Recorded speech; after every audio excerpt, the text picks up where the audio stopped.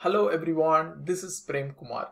In this video, I'm going to talk about how to debug an issue in a Pega application. In a developer's day-to-day life, definitely we will be facing a lot of issues during the development and it is our responsibility to debug and fix those issues. Not only on the development but also on the production you may get some issues. Okay, now I'm just going to list down some of the common categories under which we get the issues. The first thing is our server failing to start. There can be many reasons for this and one such important culprit can be the resource allocation, maybe the memory issue, the heap size. If it is not adequate, then definitely the issues can happen. Pega do provide some documentation, the minimum requirement for a server to run. Make sure you follow the standards.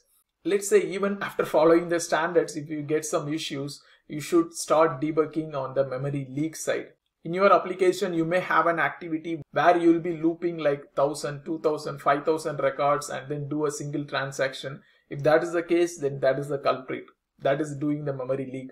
If you are not doing some enough page remove that can also contribute to the memory leak. Make sure your clipboard is on the right size and clean up your clipboard at the right moment. So memory leak is one of the place where you can debug. If your server is keep shutting down or if it is keep getting restarted so the startup logs can really give you the idea why your server is not starting up. The next is, especially with the personal edition, I have experienced a lot of times that my server never starts because of some issues with the Kafka directories. I have also seen this in my projects. In the lower environment, it is okay to delete the Kafka data directory. If you just delete the Kafka data directory, it is just simple restart. Just do a restart, then it is going to work but in production you cannot do that. So it's also necessary to look into the issue like what type of issues you get and then you have to fix those issues. Mostly it can be like you may need to increase your space. You have to increase your gps because the streams it keeps on growing in size. And pega did a very good thing like in the later versions they are offloading there is not going to be any kind of embedded Kafka data. It's going to be on a separate server. So at least your Pega servers will not go down. If you do the node classified as a stream and web together, your web server is not going to go down. Also, I would recommend you to do the right node classification so you have streams separately and web separately and the other issues can be like for example the dependencies it can have some issues some versioning issues. Maybe you have some kind of database drivers that is causing some issues. So that can also be the case. So we can talk with the ops people and get the right versions or have it rightly patched so that you don't have some issues. And sometimes the servers it can fail to join the cluster the Hazelcast cluster. Strangely it has happened with us and you have to clean up some of the statistics table, some of the node status table, and then do a clean restart. Just do a trial and error, then your cluster will get okay. So these can be different issues why your server is failing to start. Let's say you fix the, all the issues, your server is all good. Sometimes we get an issue like when we hit the URL, there is no response. Although the server status is good, we may not get any response. The issue can be like the access group that is specified in the browser requester will have an invalid application. Maybe the application is deleted or something. So the access group can cause some issues with the login. Be it the URL is not loading, that can be an issue. Or let's say your access group is pointing to an application that does not exist, then only you will not have the access. You will have the login page, but you cannot get into the application. Such issues, you have to fix it by updating the access group if the browser requester is not impacted, you can just check with your fellow developers who are pointing to a different application because if they point to the same application, they are also going to get the same issues. Also, it is always advisable that you have the administrator operator pointing to the Pega platform application and store those passwords into some kind of wall so that if needed, you can log in and then you can update the access groups. Now let's say no one can log in and update the access group then what you can do is you can also go to a different environment, update the instance to the right application, and then you can take a zip out of it and then import it. You may think how to import it, right? We have the PDM Pega deployment manager or other way which uses the API call to do the import. In that case, you don't need to have a browser login. So you can update the access group from the backend. So that is one kind of solution. So all these authentications you can check from the log files. Going forward, whatever issues we saw before and whatever issues we are going to see afterwards, the first thing which you can look into is the log files because log files is going to give you all the details, what really happened. Okay, now let's say we fixed all the issues, we get into the application and then we face some issues with the case processing. Case processing issues is the most common issues which you will get. Most of the time when you do some development, of course we tend to do some small mistakes that can break the case processing. We can have runtime error we can have some null pointer exceptions rule not found error. There can be different errors that can happen. With the case processing tracer can really help you with that. If you find some issues with the dev environment what you can do is just start the tracer repeat the same steps identify the rules behind the issues and there you can easily fix it. If it happens in production you cannot just manually create some cases in production.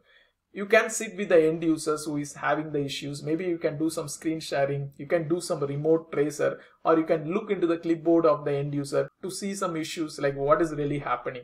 So this can really help you with the, the tracer remote tracing and the clipboard. And then in the clipboard you can also check the case status I didn't mean by what status, I meant like when it was last updated, who updated it. And if you go inside, you will also find the stage history, the PX flow that can really point you where the case stays. Definitely, if there is some issues at any specific flow shape, the case is going to stay at that shape. That can really help you to narrow down at which location the issue happens. Also, it is good to check the case history. If you write some kind of case history, you can also identify like what really happened at the last and also keep a note on the flow errors because sometimes if there is some issues with the flow, it always goes to the exception work basket or flow problem error can occur. So you can also look into those instances and see if your case stays into the error work basket. So with case processing, get your hands on the clipboard and the tracer. Next type of error can be the integration error. Let's say you have some connector and you are connecting to some external system.